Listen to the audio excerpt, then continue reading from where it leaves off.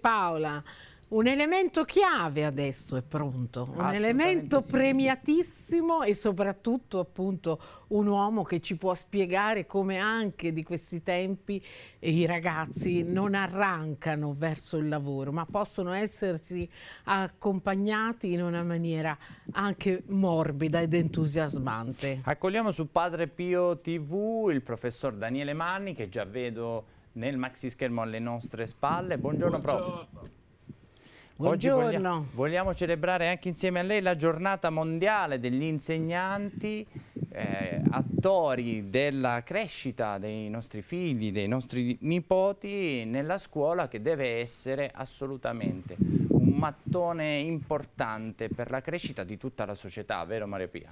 Ma io soprattutto direi che visto che è stato premiato a livello internazionale voglio verificare come dopo un riconoscimento così si arriva agli studenti anche, come dire, eh, con il peso dell'andare avanti, non pensando solo ai riconoscimenti, un po' come per gli esami. Ecco, ricordiamo solo con l'aiuto della grafica magari che il prof Daniele Manni nel 2020 è stato insignito del titolo Global Teacher Award 2020, appunto, l'unico italiano finora ad aver ricevuto questo riconoscimento. Prof, a te la parola allora, come si fa una scuola in grado di dare un contributo significativo alla società in cui viviamo? Buongiorno, buongiorno a voi, buongiorno a tutti in ascolto. Come si fa? Allora sicuramente eh, approfitto di questa bella occasione, ma soprattutto della giornata praticamente, per parlare ai colleghi, per mandare un messaggio ai colleghi. Uh, probabilmente uno dei motivi per cui eh, ho ricevuto qualche premio, qualche cosa, è perché costantemente penso ai singoli studenti cerco di portare avanti una sorta di scuola, io la chiamo studente centrica. Eh, qualcuno può magari saltare sulla sedia e dire come, perché la scuola non c'è lo studente al centro.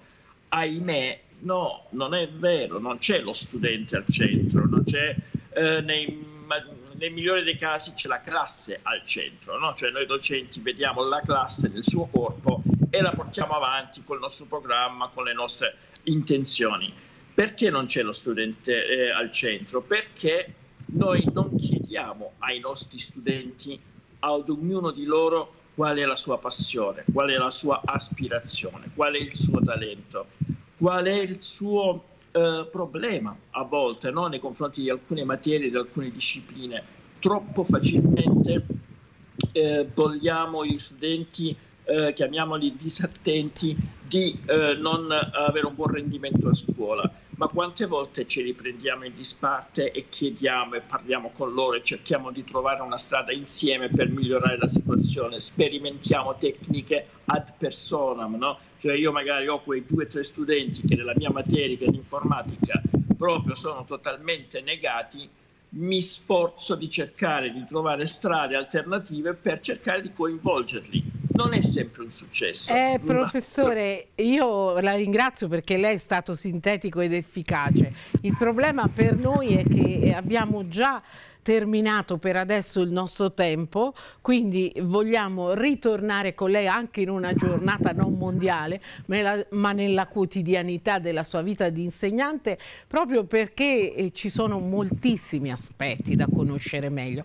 e anche magari ritrovandoci appunto con un microfono che scrosci di meno. Sì, abbiamo qualche, qualche disturbo sull'audio, però prof la lascerei concludere ecco, con un, Grazie, con un grazie. pensiero Proprio con un pensiero spot. Buon futuro a tutti. Ecco, molto bello questo augurio per tutti. Grazie, grazie a Daniele Manni, ancora complimenti e a chi, eh, buona fortuna a chi non ha un professore così, ma magari pian piano anche le loro vite no? miglioreranno ugualmente, perché poi la forza della scuola sono appunto le capacità di resilienza e soprattutto di affrontare il futuro che hanno i ragazzi.